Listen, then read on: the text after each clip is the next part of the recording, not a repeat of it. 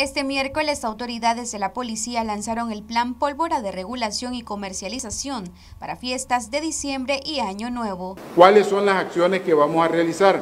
En primer lugar, a partir de mañana, jueves 14 de octubre a las 3 de la tarde, nos reuniremos con todos los comerciantes registrados para dar a conocer el plan de regulación de productos pirotécnicos. Esto se realizará mañana, como dije, a las 3 de la tarde en este auditorio de Relaciones Públicas del Complejo Policial Faustino Ruiz, donde estarán invitados todos los comerciantes. Jaime Vanegas, inspector de la Policía Nacional, dijo que del 29 al 30 de noviembre darán las autorizaciones para la comercialización y otorgamiento de permisos, pero previamente habrá una capacitación.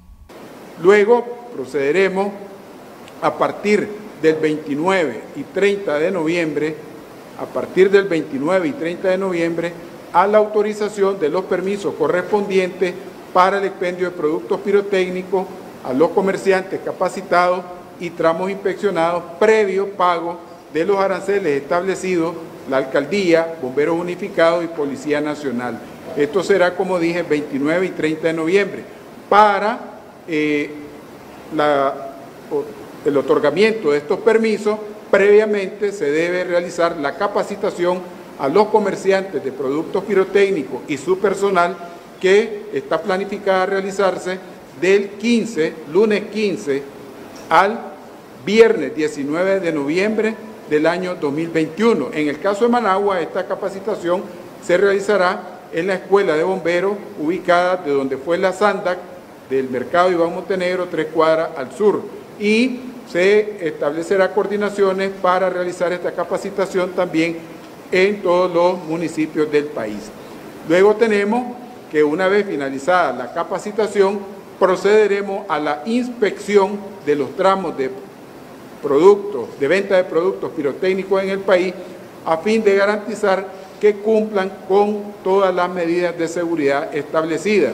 Estas inspecciones las estaremos realizando a partir del lunes 22 de noviembre hasta el viernes 26 de noviembre.